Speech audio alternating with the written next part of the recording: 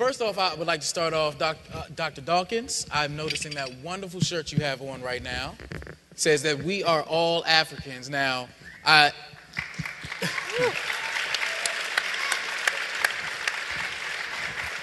now, that's easy for you to say. You were born in Kenya. So, for, for those of us not born in Kenya, um, could you please explain why we are all Africans?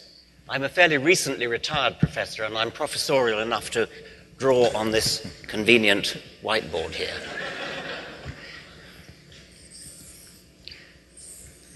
That is six million years ago.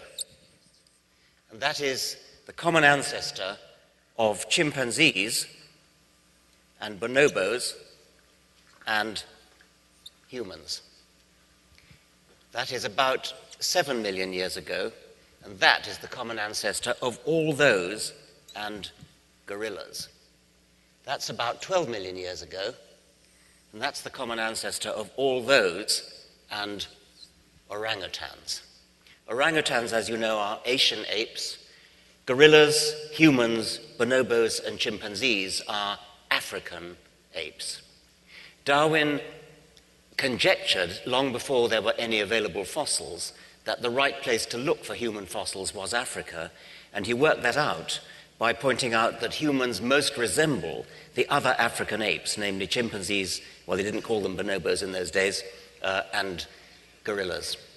Uh, the reason that we know approximately the date of the common ancestor is molecular evidence comparing the genes, comparing the proteins of these various animals. It's possible to calibrate the date at which a common ancestor happened, uh, and we can date the common ancestor of humans and chimpanzees and bonobos at about six million years ago. Unfortunately, there are no fossils down this line here, possibly because they're forest dwelling animals. Nowadays, unlike in Darwin's time, there are quite a lot of fossils down this uh, line here. They're all in Africa. Uh, we've got um, the genus Australopithecus, sort of about halfway down, Ardipithecus there, um, and uh, Homo habilis there, uh, Homo erectus about there, um, and then Homo sapiens, archaic Homo sapiens there, and then modern Homo sapiens there. Lots and lots of little branches, quite well documented in the fossil record here, um, all extinct except the last one, uh, Homo sapiens. You may have heard the phrase out of Africa. There were two out of Africas.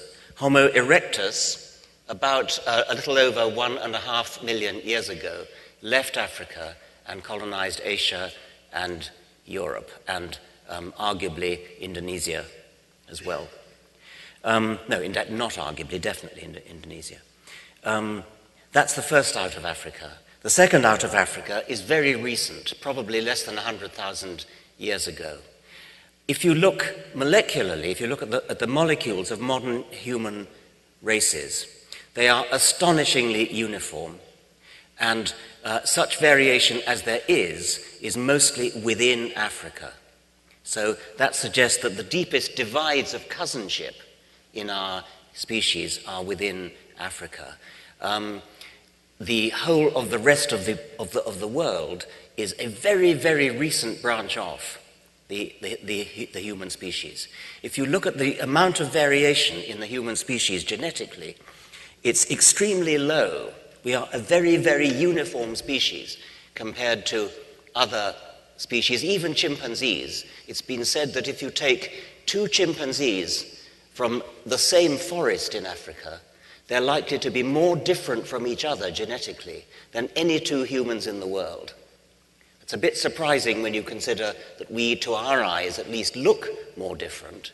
But ge- the, the, genetics is very clear that we are an astonishingly uniform species. We are all uh, one species, one very uniform uh, s- species, and we originate very recently in Africa. We are all Africans. Thank you.